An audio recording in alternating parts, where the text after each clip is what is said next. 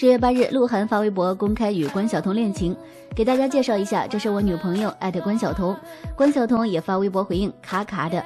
鹿晗曾在二零一四年时表示，有恋情会亲自公布，与其掖掖藏藏，不如展示真实的自己。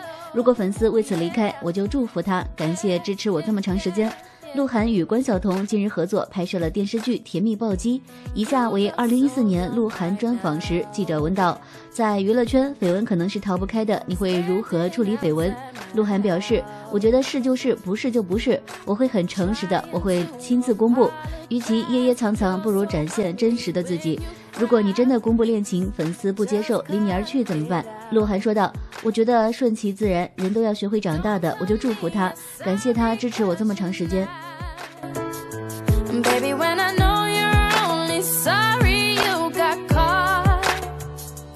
But you put